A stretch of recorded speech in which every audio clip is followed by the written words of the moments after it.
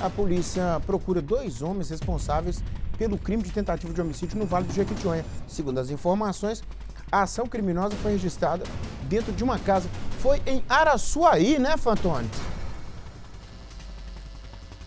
Exatamente, Nicomedes. O fato foi registrado na rua Prefeito Cantídio Amaral, no bairro Canoeiros, onde, segundo informações de familiares, a vítima estava na porta de casa quando percebeu que duas pessoas de uma motocicleta se aproximaram e uma dessas pessoas efetuou vários disparos de arma de fogo. A vítima, ao perceber que seria atingida, correu para dentro de casa, mas mesmo assim foi atingida.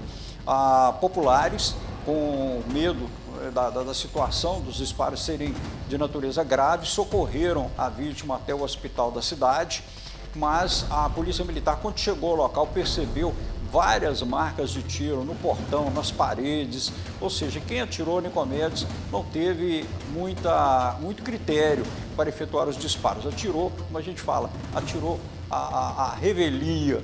E aí agora a polícia quer saber quem são essas duas pessoas. Já há uma suspeita, mas evidentemente vai precisar o Curió também cantar, diz que denúncia 181. A sua informação é importante, a sua identidade não, para identificar essas duas pessoas que podem estar envolvidas numa outra situação semelhante que aconteceu recentemente em Araçuaí.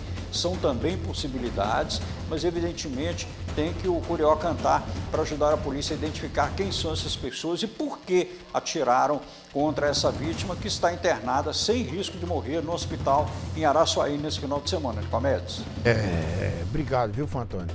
É, você está fechando aqui um, um ciclo de que tanto de homicídio tentado, né, que aconteceu, e um que evoluiu para homicídio consumado, né, no caso da agressão com pedra, né? É,